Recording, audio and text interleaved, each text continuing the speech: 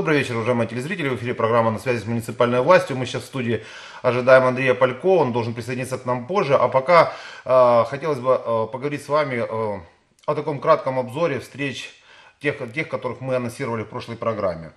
В частности, почему мы сегодня э, решили пригласить Андрея Палько и поговорить о нем, э, собственно, с ним э, о ЖКХ еще раз. Потому что на всех встречах э, Александр Сенкевич э, настоятельно рекомендует и, э, скажем так, старается убедить людей вступать в СМД. Среди, среди одних из, важ, из важнейших вопросов, которые задают ему люди, они ему задают вопрос о том, что давайте сначала сделаем дома, на которые мы деньги сдавали, а потом уже, собственно говоря, и начнем, э, скажем, ну, и вот перейдем в СМД. Так вот, на, в прошлых программах, если вы следите за нашими эфирами, собственно, э, вы, наверное, э, знаете, что мы делали несколько программ на тему того, что такое, за что мы платили деньги. И если вы знаете, у нас была программа на тему судов с департаментом ЖКХ на, на тарифы.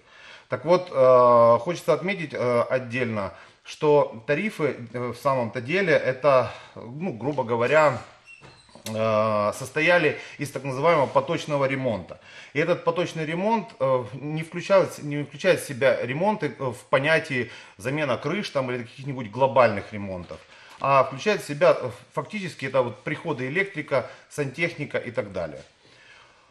И, собственно, э, сегодня мы об этом более подробно поговорим, и вы сможете в прямом эфире, вот по телефонам, которые вы увидите сейчас у себя на экранах, вы, вы увидите, собственно говоря, что э, зададите свои вопросы. Здравствуйте, Андрей, очень приятно вас видеть. Мы давно обещали нашим зрителям ответить на э, душещипательную тематику ЖКХ, которая всех волнует. Много, много раз нам звонили как раз на эту тематику, и мы начали мы вот с чего.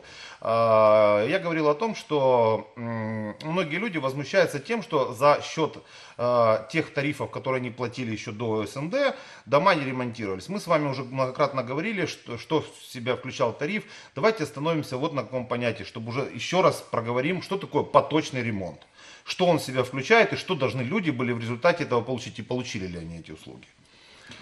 Ну, для начала теку, статья такой, как текущий ремонт, появилась в тарифе квартирной платы, либо в услуги по содержанию домов в 2008 году. До этого не было такой услуги, не было ни капитального, ни текущего ремонта. Поэтому, если кто-то там пытается спекулировать позициями о том, что 20 там, или 30 лет дом обслуживается жилищно-способным предприятием ничего не делалось, то такой статьи не было в, в статье по содержанию домов. Более того, в 2008 году она только появилась, в 2009 году был принят экономически обоснованный тариф. С 2009 года тариф не пересматривался вплоть до 2017 года. То есть ни много ни мало, порядка 8 лет содержание э, домов, такая услуга не пересматривалась э, в целом. И то пожелание и то видение, которое бы мы хотели видеть по статье «Текущий ремонт», к сожалению, в данной ситуации, в подобной ситуации, она где-то снивелировалась. Э, почему? Потому что э, мы прекрасно понимаем, э, при росте минимальных заработных плат, энергоносителей, налогов, необходимо эту статью, да, то есть угу. не может быть такого, что если стоит, например, стоит там сложить одно, второе, третье, четвертое, получается одна гривна, э, то когда вот эту одну гривну ты ожидаешь получить и э, при расчете э, через какой-то там месяц одно, два, три, четыре складываешь, получается гривна 20, то 20 то, копеек, то 20 5 копеек надо откуда-то брать. И, к сожалению, вот самой незащищенной статьей в данной ситуации получился текущий ремонт несмотря о том, что он, она получилась самонезащищенной, и за счет нее очень часто э, прикрывались такие статьи, как э, заработная плата, либо оплата электрической энергии, либо вывоз твердобытовых отходов, либо еще какие-то другие статьи. Э, все равно Но, ну, а люди все-таки, э, все-таки вот, работы выполнялись по текущему ремонту. А вот что, что такое текущий ремонт? Какой это перечень работ? То есть э, вот просто большинство там сейчас э, старается сказать о том, что отремонтируйте нам крышу или там сделайте что-то такое вот глобальное, тотальное. Это относится к текущему, к текущему ремонту или что это что-то другое? Есть очень такой э, короткий, прямой э, документ, который это э, регламентирует. Есть приказ 100 номер 150 Министерства жилищно-коммунального хозяйства, в котором прописано э, виды работ. Э, что относится к содержанию, что относится к текущему ремонту, что относится к капитальному ремонту. Вот статья «Текущий ремонт» как раз она регламентируется в соответствии с данным приказом. То есть, если ремонт кровли, до 10%. Если ремонт водопровода, канализации, до 7%. Э, И так далее и тому подобное. То есть, там идет четкая градация. Э, Если, например, э, в доме э, 300 там, или там, э, там, ки- километр э, инженерных коммуникаций э, водопровода, то 7% это там 70 метров. да. Мгм. То То есть, это такое. имеется в виду от общего объема, от общего Да, объема да. коммуникации и так далее. Давайте примем первый звоночек. Добрый вечер, мы, мы в эфире, слушаем вас. Добрый вечер. Добрый вечер. Добрый вечер. Андрей Николаевич, вот у меня к вам такой вопрос. Вот если у людей нет денег, у меня трое детей-инвалидов, рядом пришел человек из зоны АТО, рядом пенсионеры, чернобыльцы, и наш дом, фасад, такая дырка образовалась, а у меня в квартире над этой дыркой проходят газовые приборы. Может случиться беда. И у нас нет чем фасад. Заявление лежит у вас с одиннадцатого года. Синкевич А- адрес, я была пожалуйста. на приеме, он пообещал. Когда вы будете, поможете вы нам или нет? Ответьте, Адрес, пожалуйста, скажите свой. Не ложите трубку, адрес скажите. Даля 29. Далее 29. Спасибо. Ну, Андрей Николаевич, готовьтесь, вопросы будут именно такие, конкретные, поэтому Да, по Дале 29 обращались люди неоднократно по этому поводу. Э, Мы там помогали в ремонте кровли, где-то еще там некоторые вопросы. А вот ремонт фасада, там сумма затрат с тем, что хотят э, жители данного дома, составляет порядка 600 тысяч гривен, поэтому мы, к сожалению, такие работы выполнять не можем. Э, Локально там были аварийные участки по парапету, мы их устранили, а вот э, там, к сожалению, не, не только не вопрос не в дырке, а вопрос в целом о ремонте фасада. мгм, то есть это Поэтому в данном комплексный ремонт. случае мы рекомендуем всем, что, во-первых, э, по поводу э, ремонтов, э, помочь, не помочь и как быть, э, если недостаточно средств для оплаты услуг, не забывайте об э, инструменте субсидии и льготы, где э, доход людей или точнее выплата оплаты за коммунальную услугу составляет выше 10%, такие люди имеют право на получение льгот и субсидий. Необходимо этот инструмент использовать. Вопрос номер два. Там, где необходимо проводить ремонтные работы, э, есть инструмент, это э, объединение совладельцев многоквартирных домов. Э, На условиях софинансирования даже такие работы, как фасад, можно выполнять в плановом режиме и необходимо в этом деле работать. К сожалению, сделать работы во всем городе и сделать его идеальным, то, что не делалось на протяжении многих лет, потому что мы знаем, что были 90-е очень тяжелые, потом 2000-е, то есть мы потеряли ни много ни мало почти 20 лет в проведении плановых текущих ремонтов. И на сегодняшний момент та потребность, которая есть в ремонте, э, довольно, довольно значительная. Ну, хорошо, давайте мы еще вернемся обязательно. Это, я думаю, что не единичный случай. Давайте примем звоночек и продолжим. Добрый вечер, вы в эфире, слушаем вас. Да, здравствуйте. А подскажите, пожалуйста, вот первый вопрос. Занимаетесь ли вы частным сектором? И, в принципе, как же мы отличаемся от, част... ну, от э, жилых э, девятиэтажных домов? Или вот я, допустим, инвалид по зрению, я в частном доме. Я частный собственник своего двора, и крыша если течет. Я за свои деньги делаю, стенка ломается, за свои делаю. Поверьте, заработок небольшой, но получается, я не могу никому обратиться. А наш народ любит сильно жаловаться, вы знаете. То есть я не то, что жалуюсь, но нужно объединяться, нужно со всеми дружить. И я считаю, просто нужно, ну, не всех ну, я считаю, всем надо помогать. Ну, поверьте мне, в девятиэтажном доме течет крыша, точно так же и моя потечет. Но я ее сам делаю. А у нас народ всех требует, понимаете? Все требуют от вас. То есть, я не знаю, выбирайте самых нужденных, скажем так. Спасибо большое. Собственно говоря, это в продолжение этой тематики. Продолжение этой темы очень хороший э, вопрос, э, просто прекрасный вопрос, Почему? Потому что э, элементарная социальная справедливость. Налоги мы платим все одинаково. Мы работаем одинаково. Почему мы находимся в разных условиях? Более того, есть, например, такое понимание, как строительные кооперативы.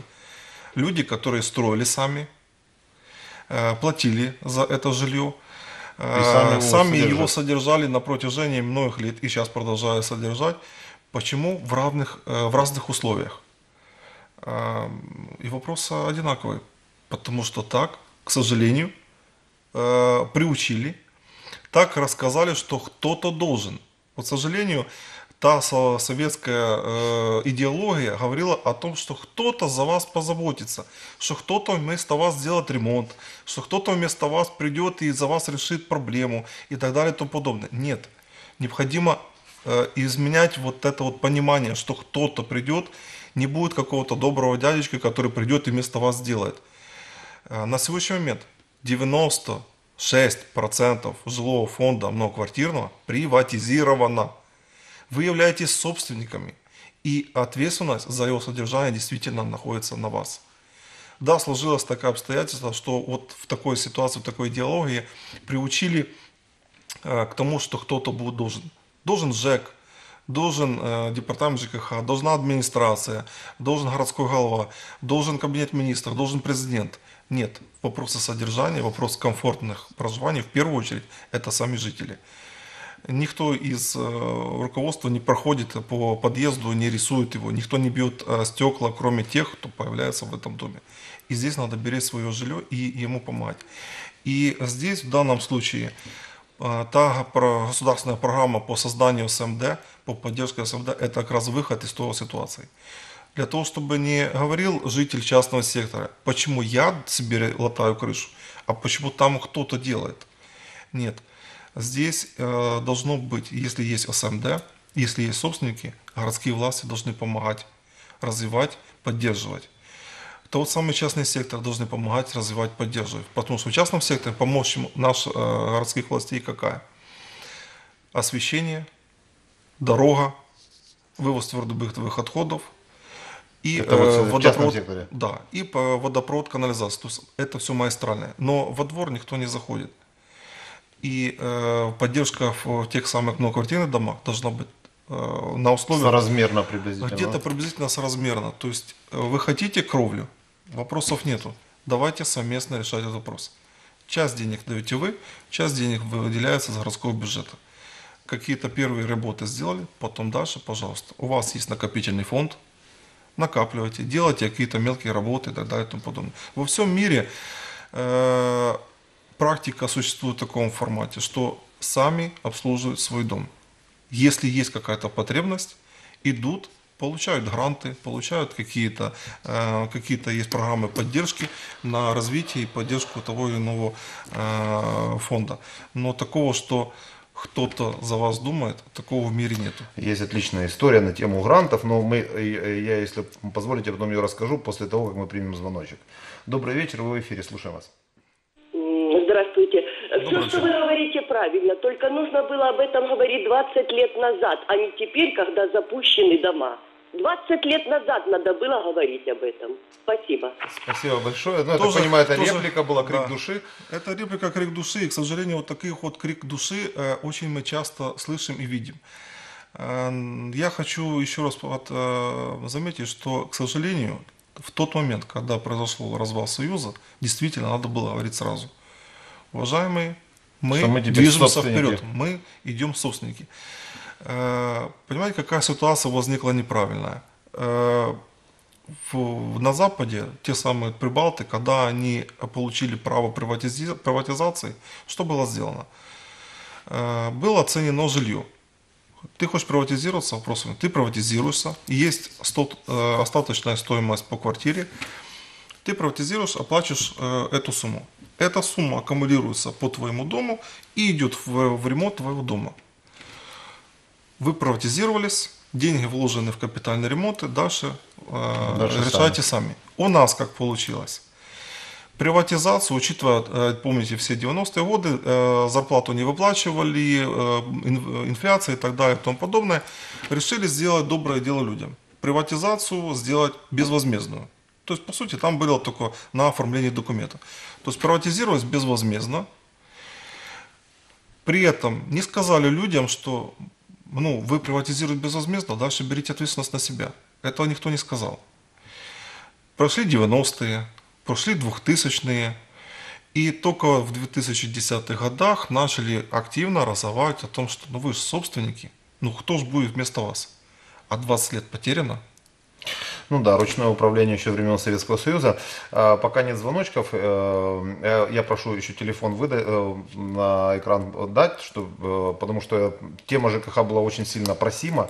А, была такая очень интересная история с Ярославом Захаренко, если ну, знаете вы, кто это такой, да, и многие зрители знают, и в общем он рассказывал о том, как он долго-долго выбивал где-то в Германии грант, в оконцовке получилось, что вроде все, вообще ничего платить никому не надо было, кроме регистрации регистрацию СМД. Э, и, в общем, готовы были немцы приехать по специальной программе, поменять везде всем окна, и, в общем, там, и, в общем, там, утеплить дом, сделать энерго, энергоаудит. И закончилось это все банально. Э, люди, которые вставили сами окна, спросили, что у нас тоже поменяют? Да. А кто мне деньги за них вернет? Ну, и как бы на этом ОСМД закончилось. Ну, Собственно говоря, я так понимаю, это не первый случай. Да, к сожалению, это не первый случай. И бывают э, такие вопросы о том, что, как говорится, моя, моя рубашка ближе к телу. И где-то вы получить какую-то э, маломайскую выгоду для себя э, намного, конечно же, ближе к телу, чем, э, чем есть цельный, э, цельный вопрос по дому. Э, не, не думать в отношении того, что ну, мы же потом в итоге получим все хорошо, проведут термосанацию, да, проведут энергоаудит, сделают замену окон в подъездах. Ну ладно, что я себе сделал, хорошо, у меня там деньги есть, я себе поменял окна раньше, я за это время какие-то два года пожил нормально, с нормальными окнами. Но впоследствии у меня будет термосанация, у меня будет экономия по, по, э, деньгам, по деньгам за энергоносители. И вот здесь вот вот этот момент э, Очень разрушил, сложно, разрушил ту да. хорошую идею, которую... Давайте ответим еще на звоночек. Добрый вечер, вы в эфире, слушаем вас.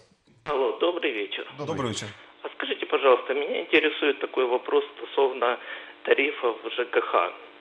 Вот известно, что в тариф э, входит 25%, это стоимость освещения э, подъездов и общие, общественных мест – это в вашем конкретном доме, правильно? Это конкретно многоэтажный наш дом, да. И вот у меня вопрос такой. Почему привязывают наши метры к освещению подъездов? Вот, допустим, у меня квартира 20 квадратных метров, у соседа 10 образно. Ну, лампочка светит нам одинаково. А платим мы за освещение подъездов по-разному. Хотя стоит э, учет, ну, прибор учета электроэнергии. Спасибо. Очень интересный вопрос. Вопрос очень интересный. Но в СНД я тоже уверен, что с этим тоже столкнуться, как mm-hmm. насчитывать такие вот общие показатели. Ну, вопрос очень интересный. Опять же, из темы «Моя рубаха ближе к телу». А, а если э, вы проживаете там одни, вы там зарегистрированы одни, но к вам приехали гости, у вас погасили месяц э, родственники, как тогда рассчитывать? А за этот месяц в четверо человек пользовались этим освещением, ходили чаще. А если человек уехал на море, он пользовался этим освещением, но ему не пользовался. То есть это вариации из вот, вот так вот можно крутить. Вправо, влево. Поэтому на сегодняшний момент законодатель обозначил э, единую формулу подход э, к оценке. Это квадратные метры. Это Независимо. Это законодательный акт, это постановление Кабинета министра номер 869, которое прописывает, что Единицей измерения и исчисления за услуг по содержанию дома является квадратный метр э, проживания в квартирах. И тогда э, хоть какая-то более-менее, ну, мне кажется, справедливость, относительная, относительная справедливость есть. Потому что ну, вот, таких вопросов можно задавать массу. А вообще, э, вообще, вы знаете, э, я прошу прощения нашего зрителя чуть-чуть подождать. Вы знаете, э, ну, я когда был в Болгарии, у них очень дорогое электричество. Вот если мы говорим об электричестве, 25% это весомый вклад, как ни крути. Да, вот они настолько сами, у них выработалась какая-то внутренняя такая тяга к экономии. Они, у них везде стоят датчики движения, у них лампочка лишний раз не горит. И может быть просто стоит людям, которые даже там не, метры делить, а вот как-то вместе объединяться для того, чтобы эконом, э, экономнее установить там какой-то там примитивный датчик движения. Ну, очень- это такое дело. Нет, очень правильное э, решение и очень правильный подход, потому что 25% в тарифе это нормативно. Это, э, вот, э, Это никто не придумал, Это нормативно. То есть это в рамках среднестатистических потреблений по дому а, прописано в, в этом. По факту там стоит счетчик, который считает, сколько конкретно потребил э, коммунальное освещение, либо потребил лифт. И в зависимости от того, насколько э, Больше внедрены э, те или иные энергосберегающие мероприятия, датчик движения, датчик времени, э, то есть регулятор времени, э, светодиодное освещение, эту сумму можно уменьшать. И она выйдет в конечном итоге до минимума. В любом Но случае это надо объединяться и инициатива, стремиться к этому, да. Это надо инициатива и работа. У нас есть следующий звоночек. Добрый вечер, вы в эфире, слушаем вас. Э, Добрый вечер. Добрый вечер. Андрей Николаевич, э, этот, э, как его, м, ваш бывший начальник Гайтаржи был еще в 2010 году, так я понимаю, вы были у него замом. С 2010 года у меня э, в квартире до сих пор потоки. Значит, ситуация какова? Вы сейчас стали начальником. Какой, э, как вы могли взять портфель, если вы мне целое досье папки на- отписали за это время? Семь лет прошло, Какой в феврале адрес? 10 числа было. А, Какой адрес, пожалуйста, адрес? можно? А? Адрес, Адрес. ваш. Э, Героев Сталинграда 79А, квартира 72 и 71. Спасибо. Ну, ваши комментарии, как вы могли взять портфель. И, собственно говоря, ну, почему 7, ну, вот 7 лет, как утверждает человек, это не сделано. Вы помните этот адрес? А, Нет, на, на слуху у меня нету конкретно этого адреса. А что касательно э, портфеля и либо нерешения тех или иных вопросов, я уже вот буквально накануне говорил, что порядка 20 лет мы потеряли в производстве и э, в выполнении тех или иных работ. Э, следствием чего стало то, что у нас порядка э, 600 с чем-то кровель нуждалась в срочном капитальном ремонте. При всем желании где-то помочь невозможно, объять необъятное. Э, Например, бюджетный запрос на... э, Мы когда посчитали, сколько необходимо на сферу жилищно-коммунального хозяйства только по линии департамента жилищно-коммунального хозяйства, бюджетный запрос составил 2,5 миллиарда. 2,5 миллиарда – это э, то, чтобы закрыть вот вопросы, которые м, мужчина задал, и, я думаю, многих других горожан интересует. 2,5 миллиарда. Э, При этом э, выделены нам средств 330 миллионов э, на, на текущий год. Можете сравнить, какая Ну, это общий бюджет Николаева где-то о- ожидается 2,7 миллиарда, если мне память не изменяет. То есть это фактически бюджет Николаева нужно потратить на сферу ЖКХ, и то не факт, что все успеете сделать. Это да, ну в любом случае, конечно, мы не успеем сделать такой большой объем работы, потому что документальное оформление очень длительное, но факт о том, что 2,5 миллиарда на сегодняшний момент находится. Что касательно кровель, то э, мы стараемся потихонечку выходить из этой ситуации. Благодаря той самой децентрализации сейчас началось более предметное движение э, в тех или иных вот э, Ну, направлениях. сколько в следующем году вот запланировано у вас э, ремонтов? Вот в Вот- этом вот- текущем, в 2017 году. Вот на 2017 год у нас запланировано 120 кровель в капитальном ремонте. Из, Если- из 600 нуждающихся порядка, да? Ну, уже чуть меньше. В прошлом году у нас вот получилось сделать порядка 130 кровель. В этом году запланировано 120 кровель. Э, То если есть в течение такие- где-то там плюс-минус 5 лет, по идее, все кровли будут да, если с такими темпами пойдем, то я думаю, что в течение 3-4 лет, то есть мы как-то выровняем ситуацию. Э, Для себя, как бы и для жителей, я хочу сказать, что уже как бы мы видим определенные плюсы вот той самой децентрализации, потому что э, если еще 13 год брать, 12 год, 11 то мы выполняли работы э, не более чем на 50 кровлях. На большее средств не хватало. В прошлом году удалось сделать 130 кровель, несмотря на э, скомканность бюджета. Давайте, году- давайте примем последний звоночек у нас на сегодня в этой программе, потому что время у нас, к сожалению, не резиновое. Я понимаю, что вас надо смело можно часа на два оставлять, и вопросов будет. Добрый вечер, вы в эфире, слушаем вас. Алло, Добрый, вечер.